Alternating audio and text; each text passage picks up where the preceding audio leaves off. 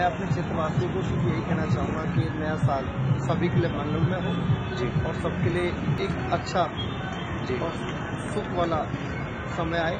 जी। नववर्ष सभी के लिए एक खुशी लेके आए। दो हज़ार अठारह सबके लिए परिवार के लिए लाभदायक। तो दोस्तों से सिर्फ़ यही कहना चाहूँगा कि आने वाला जो समय होगा हम कांग्रेस पार्टी से और कांग्रेस पार्टी के लिए आप सपोर्ट करेंगे। क्योंकि कांग्रेस पार्टी ही देश की भला कर सकती है देश का भला कर सकती है। नववर्ष जो है, नववर्ष की शुभकामना के साथ साथ मैं कांग्रेस की तरफ़ से आप सभी को ढेर सारी शुभकामना देता हूँ कि आपका नववर्ष मान्य